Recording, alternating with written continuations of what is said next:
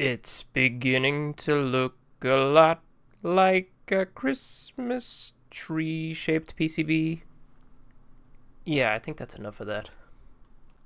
So this is the PCB 3, or if you pronounce it how I normally would, it would be PCB 3.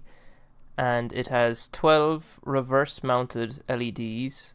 So that's where they're mounted this side of the board, but they're actually facing inwards towards the PCB and there's no silk screen or there's no solder mask there so it diffuses through the actual FR4 material of the PCB and all these LEDs are Charlieplexed and being run off an tiny 13 and they're all being powered by a coin cell battery that also acts as a kickstand.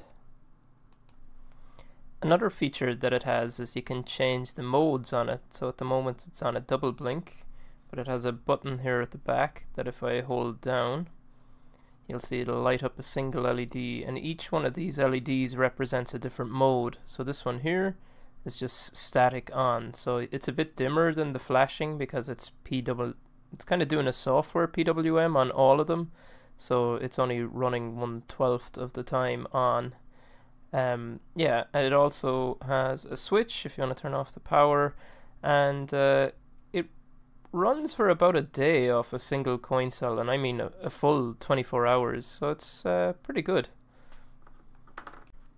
I had planned to cover more in this video, like talk about how to do the reverse mounting LEDs and also how to program the Tiny 13, but I just plain ran out of time because the last day for postage for these PCBs to some countries is the 7th of December, which is tomorrow. So yeah, I'm definitely leaving it a little bit late. But uh, check the Tindie store if you are interested because I leave a link to when are the last postage dates for every country. So if you're still interested in getting one, it should be able to get to you in time, hopefully. And yeah, so it comes in kit form. Um, it's it's a little bit of a challenge in terms of soldering. Uh, the LEDs are 0603 and they are mounted upside down. It was my first time soldering 0603, and it, it wasn't as hard as you think it would be. Um, even the fact that they were upside down, it wasn't too bad. Just getting them flat was the biggest challenge. Um, also, I include a lot of spare LEDs in it, so there's only 12 needed, but I include 22, I think. So you don't need to be worried about losing them, or even if one gets messed up, you can just sacrifice it. There's no no need wasting time over a spare LED. So yeah.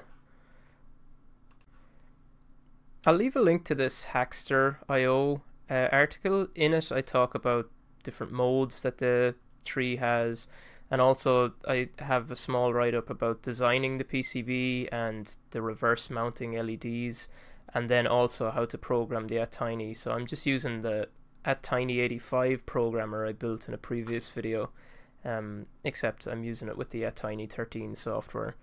So yeah, hopefully you guys think this is interesting. If there's anything that you want me to cover on this project in more detail in a future video, there's no issues with that whatsoever. I'd love to go into it. And uh, if you have any questions, I'd love to hear them. And other than that, thanks a lot. Talk to you again.